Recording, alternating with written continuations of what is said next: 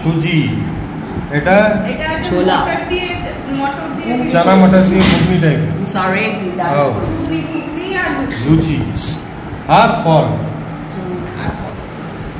গাছের আম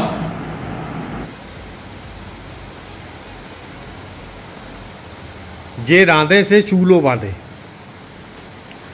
হ্যাঁ? কোথাকার আহ, আহ, তৈয়ারি চলছে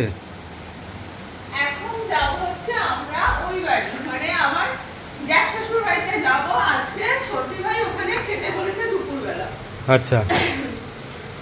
তো good afternoon welcome back to channel এখন নিয়ে এসেছি একটা দুপুরবেলার একটা গরমদায়ক ব্লগ নিয়ে।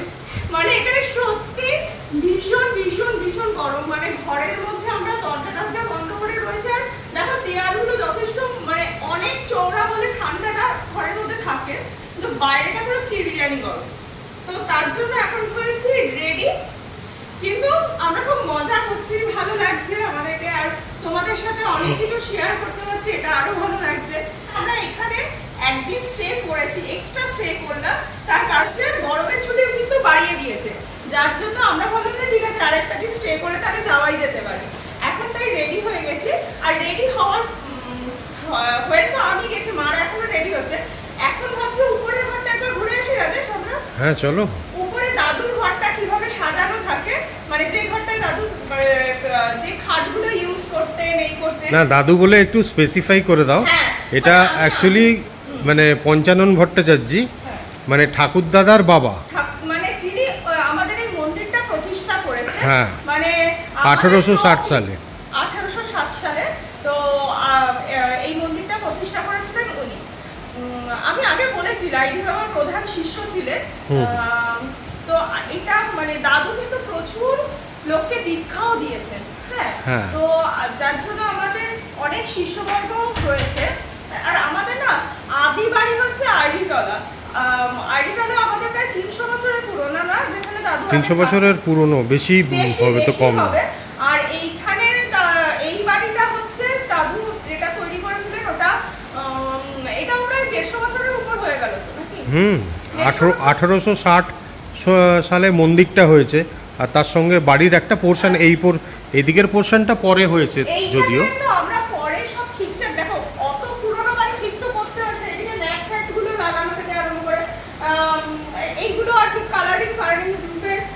বিশেষ করে হচ্ছে রূপের পৈতের সময় সেই সময়টা পুরো বাড়ি রং হয়েছিল।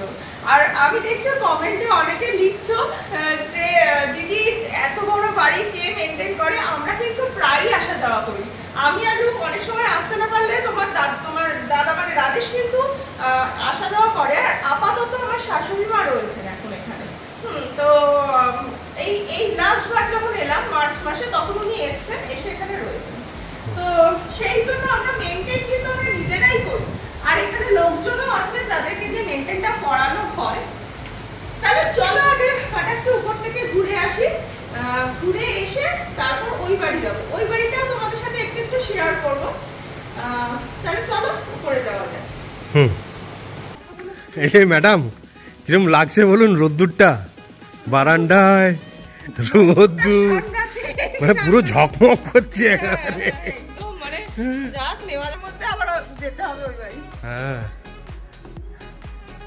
এখন যদিও লুয়ের ব্যাপারটা কলকাতাতেও চলে এসেছে হ্যাঁ আর এখানে দেখছি যে আগে যেরকম ঘাম হতো না একদমই ড্রাই হিট ছিল সেই জিনিসটা কিন্তু আস্তে আস্তে এখানে ওয়েট ইয়েটাও হিউমিডিট হিউমিডিটি ইয়েটা বেশি হয়ে ঘামটাও কিন্তু হচ্ছে এখন উপরে যাওয়ার যে সিঁড়ি আগেকার দিনে যখন কাঠের সিঁড়ি হতো না দাদু এটা কাঠের সিঁড়ি তৈরি করেছিলেন। এই ডিজাইনটা আগেকার দিনের গ্রিলের ডিজাইনটা অনেক পুরনো বাড়িতে এখনও আয়রিটোলা হ্যাঁ। বউবাজারে এতে সব দেখা যাবে। পুরনো তিনশো বছর পুরনো কলকাতার যেসব বাড়িগুলো আছে তবে কাঠের সিঁড়িও দেখা যায় কিন্তু খুবই কম।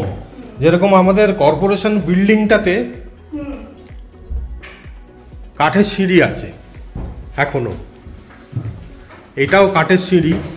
এই কাঠগুলো মানে তখনকার দিনের বার্মাটিক কাঠ না সেগুন কাঠ? মানে লোহা আর কি এগুলো। আর ইয়ের দেয়াল টেয়াল দশ বছরই ফাটতে আরম্ভ করে। আচ্ছা এই তখনকার দিনে ছিটকিনিটা একটু দেখাও। হ্যাঁ হ্যাঁ। আগেকার দিনে। হাত ভারী কি প্রচুর ভারী। কাকে কাকে আর এই হচ্ছে দাদুর ঘর। দাদু বলতে আমি আবারও বলে দিই ইনি হচ্ছেন আমাদের প্র পিতামহ মানে আমাদের ঠাকুরদাদার বাবা যিনি এই মন্দিরটা প্রতিষ্ঠা করেছেন আর এই বাড়িটা তৈরি করেছেন। আর এইদিকে বলো রাধেশ হ্যাঁ এটা ঠাকুরদাদার মানে অল্প বয়সীর ছবি ছবি? এই লাঠিগুলো আর কি। হ্যাঁ মানে আর এই খাটও না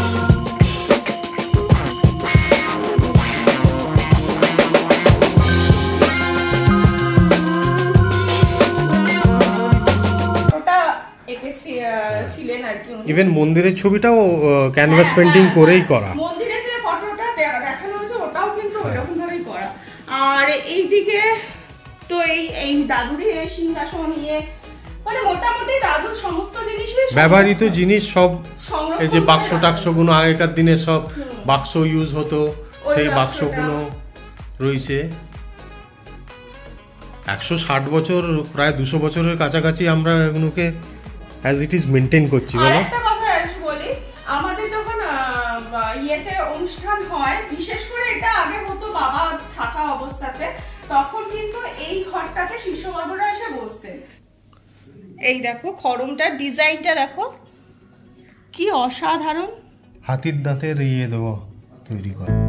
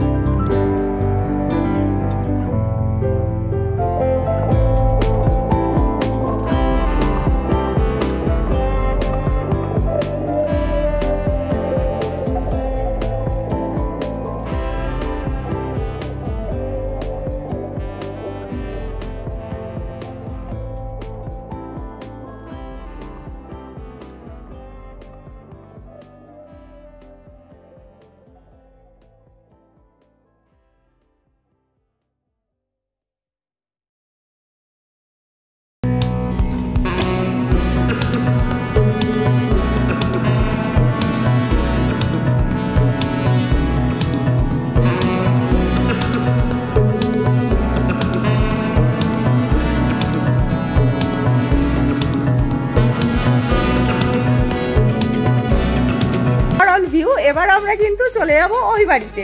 আর ইনফ্যাক্ট ওই বাড়িতে সবাইকেই খেতে বলেছিল কিন্তু মা যেতে যাবে না বলছে বলছে যে আমি এখানে রান্না করতে বলি কি গরমের মধ্যে মায়ের যাওয়া সম্ভব নয়।